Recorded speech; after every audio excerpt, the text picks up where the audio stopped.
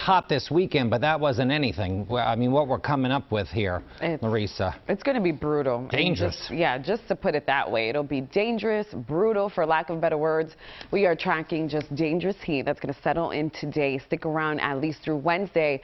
But even as these temperatures begin to come down, on Thursday, we're still tracking a daytime high of 90. I do have that seven-day forecast. We'll get to that in a moment.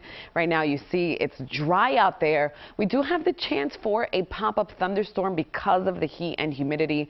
It'll produce instability that can uh, equate to a few rumbles of thunder here. But notice how it's very scattered, and usually we have some rain. It helps cool us off.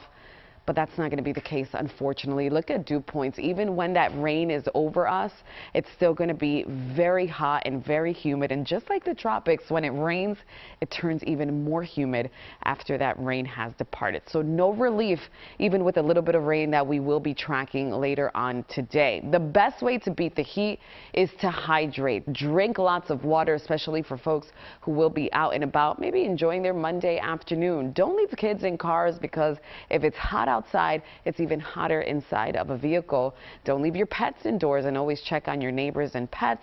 A cool shower also brings relief. So that's just a few little tips that you can uh, do in order to beat the heat over the next several days. Temperatures really reach their peak for us on Wednesday. Once again, dangerous heat unfolding with a daytime high projected of 97. Relief does return to us by Friday.